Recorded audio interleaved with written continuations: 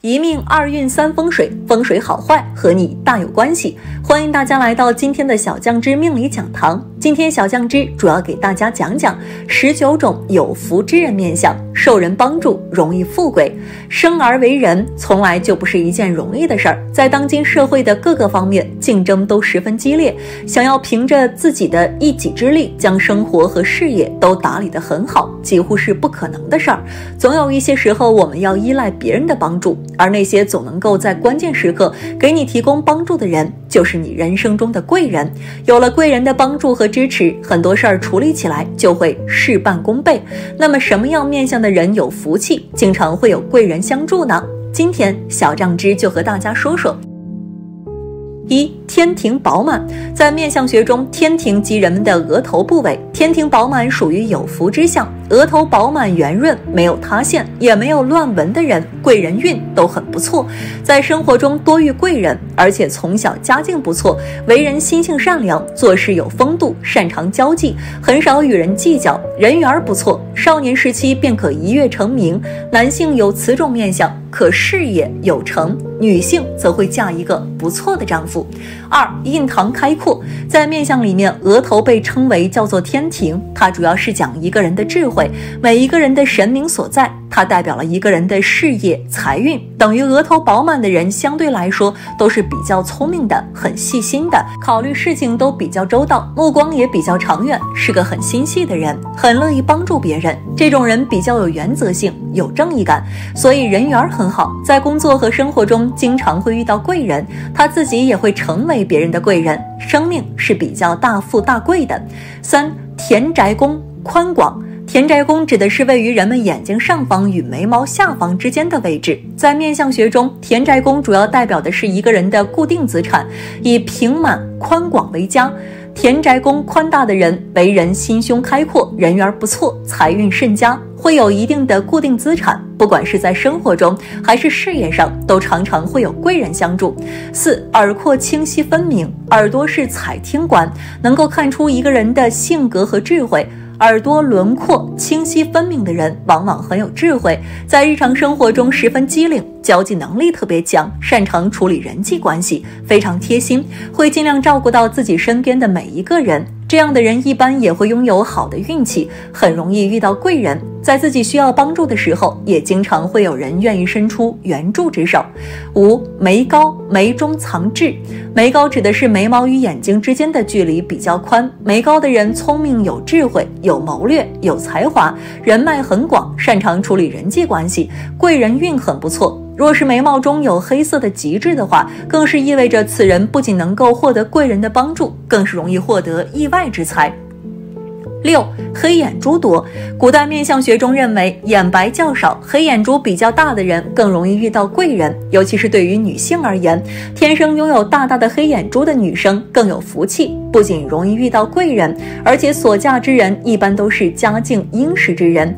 七眼角上扬，眼角上扬的人往往都是心地善良、乐于助人之人，处理问题时也总是站在他人角度考虑，只要有人需要帮助，就会伸以援手。智商、情商都很高，做事稳重，从不慌张，在实际生活中经常会有贵人相助，机遇多，未来的发展也会越来越好。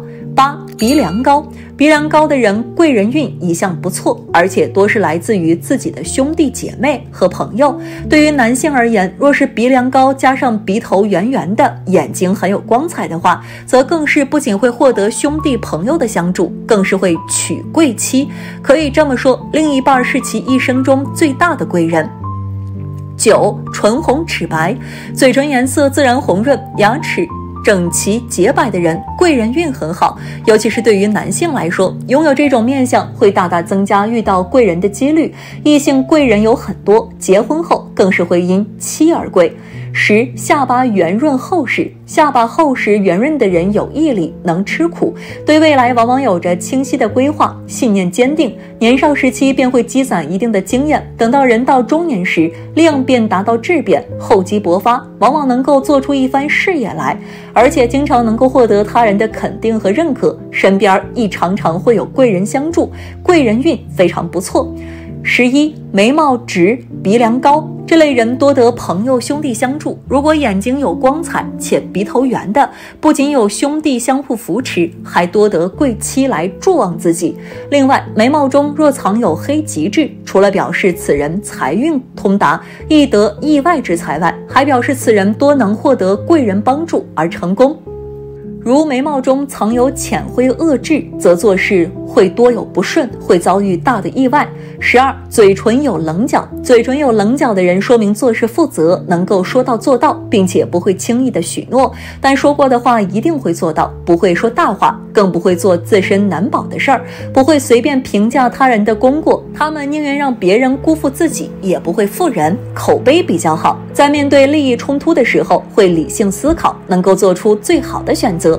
十三，山根隆起，山根是沟通贵人与自己的桥梁。山根在两个内眼角的鼻梁处，如果山根低矮塌陷，那么这是最下的面相。只有山圆隆，不尖耸，不塌陷，不过于突出，那么这样的面相最容易接近贵人的。十四，眼睛白少。眼白比较少、眼黑较多的人，看起来非常的和善，为人善良，没有什么坏心思，做事儿也是踏实能干，很会协调沟通，意识坚定，有自己的想法做法。而且能够很快的找到感觉，和身边的人能够打好关系，很乐意与别人合作，是天生的领导人面相。思考事物时有自己的主见，不会随意的答应别人，但答应的就一定能够做到。社会地位高，做事勤奋踏实，能够在逆境中越来越好。十五，嘴唇有棱角的人，嘴唇有棱角的人办事能力真的很不错，而且也会给人一种责任心很强的感觉。努力之后会让自己事业。有更好的发展。其实这样的人真的是说到做到的。如果自己不能做到的事情，不会轻易做出承诺；答应过他人的事情，会努力做好的。相信自己一定能获得成功。对于他人的事情，不会理会太多，就是希望自己能有更好的未来。坚信自己努力之后会有更好的发展，而且经常都能够得到贵人的帮助。十六颧骨有肉的人，人们的颧骨面相与事业运势关系很大，而颧骨有肉的人做事方面相当有魄力，而且对于权力方面也是很重视的。为了让自己能获得成功而付出很多，相信自己一定会超越身边的人。这样的人为人处事方面也是很好的，所以有着不错的人际关系，无论去到哪里都是很受欢迎的。在职场中也会遇到贵人的帮助，事业运势会越来越。好，在工作方面真的是一点压力都没有。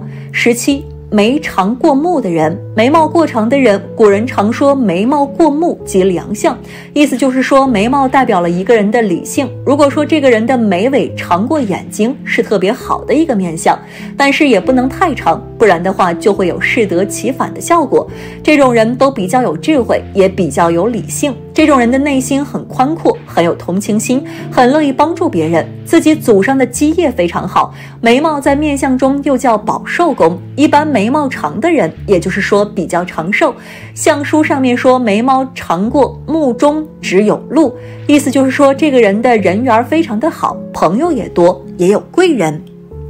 十八，耳高如提的人，耳高如提的意思就是说他的耳朵会比较高，像是让人用手被提着一样。古话常说，高如提的人容易少年成名。这种人他从小就非常的聪明，做事情也比较专注，学习能力很强，善于听别人的意见，学习别人身上的优点。非常懂得尊重别人，而且很有包容心，特别懂得为别人着想，身边的贵人不断，他自己事业上也是顺风顺水，非常有富贵命。十九。目藏英气的人，目藏英气的人，意思就是说双眼非常的有英气。古语说目藏英气，这个意思就是说这个人在少年的时候就非常聪明，可以高中状元。当然这只是一种比喻，主要的意思就是说这个人有一个很好的前程。这种人一般都目标很远大，有自己的理想，然后能力也是非常出众，性格温和，做事沉稳，有担当，是贵人之相。